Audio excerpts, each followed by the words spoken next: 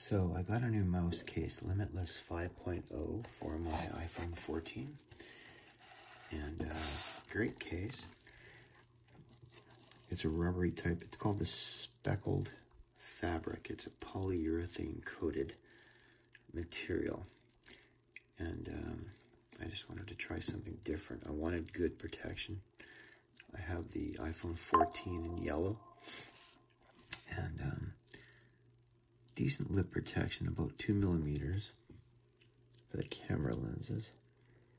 Not too bad. The lip protection for the screen is pretty good, and I have a non-edge to edge screen protector, as you can see. And there's even quite a bit of lip in the center there, where it's it's higher on the chins, top and bottom, more shallow here, and there's still lip, so that's pretty good.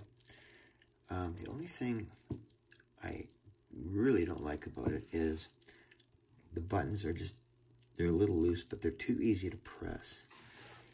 And uh, they can rattle. But that's not an issue for me. Uh, you can see they're a little loose, but that's just how they are. So you get a better feel for the buttons as Apple intended them to feel. More clicky and tactile.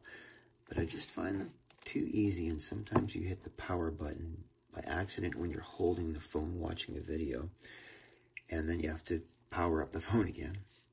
So it can be a little annoying, but I have to get used to it, I guess. But uh, yeah, overall, really nice case.